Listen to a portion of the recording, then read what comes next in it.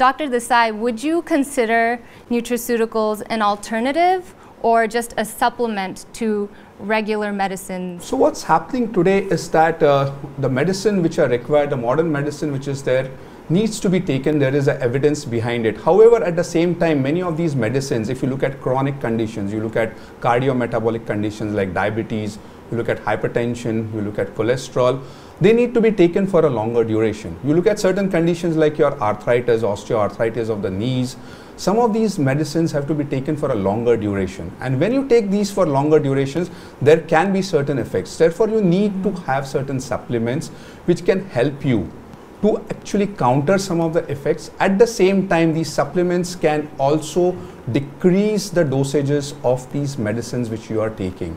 They can help you to actually uh, look at these uh, diseases from a long-term management perspective so that you are able to have those healthy part of it. So if you take certain cholesterol lowering uh, uh, drugs, which Dr. Thacker would know it very well, they can have certain effects on your muscles. In fact, Dr. Thacker would have the better perspective of this in his clinical practice. How do you really manage these patients with supplements is I think something which our audience would like to know. I think Isha is a perfect example of nutraceutical product.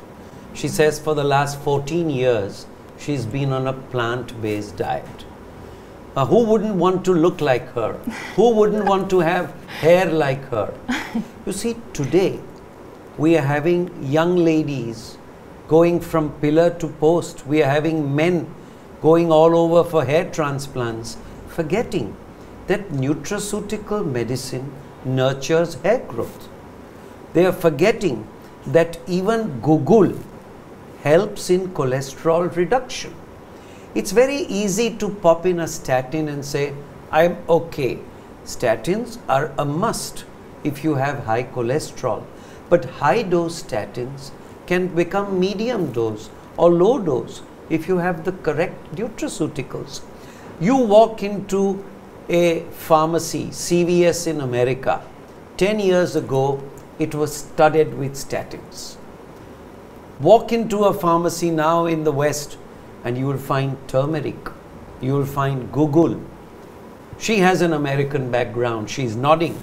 and you can see the sales of these lifestyle products which are natural because they are natural extracts obviously they have the lesser chemical side effects of drugs they are easily available they are palatable at all ages. They are safe. Now, I'm not saying because they are natural, all of them are safe. Nutraceuticals of today go through a rigorous check. Our own country has the FSSAI, and they see to it that these natural products are not a one night stand where they are produced by fly by night operators they go through scientific evidence.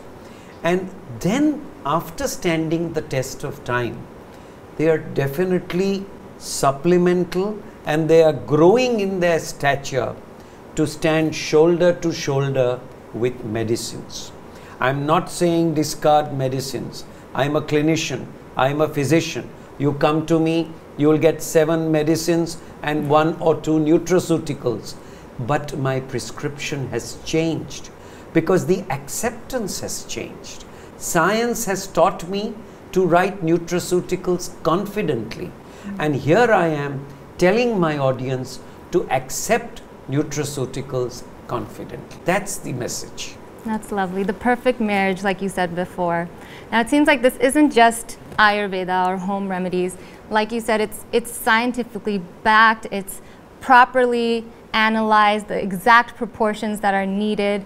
Do you think that this has the potential, Dr. Desai, to replace modern medicine, or it'll always be just uh, a supplement to the modern medicine? So when you look at today, uh, today there's a concept going on called as functional medicine.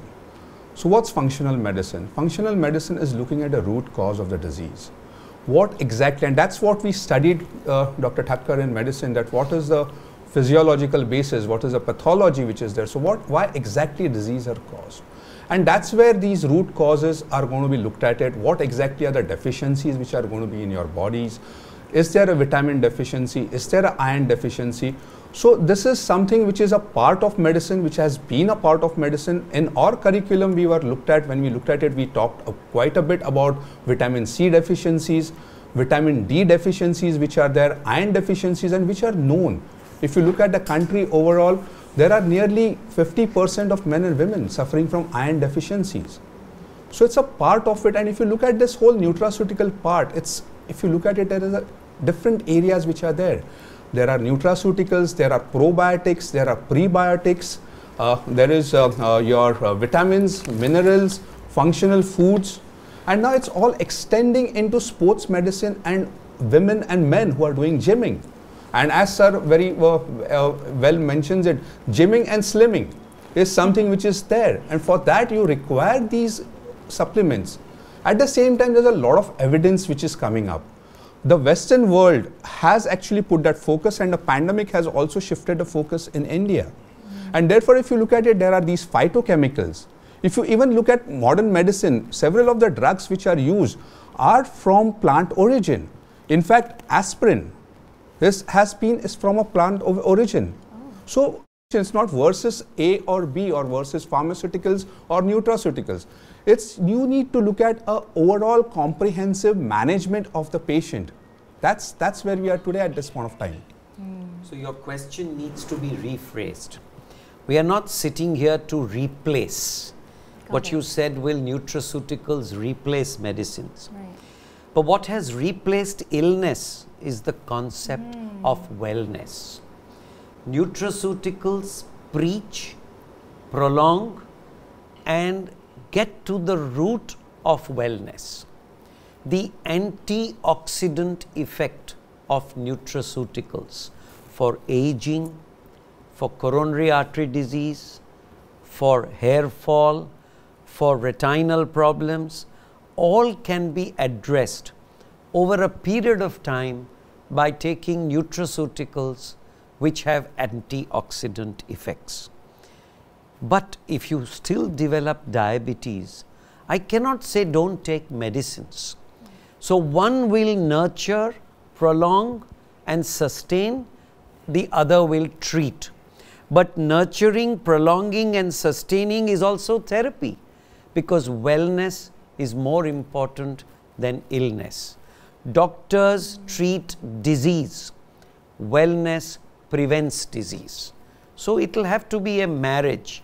Whether the wife is important or the husband, you have to decide.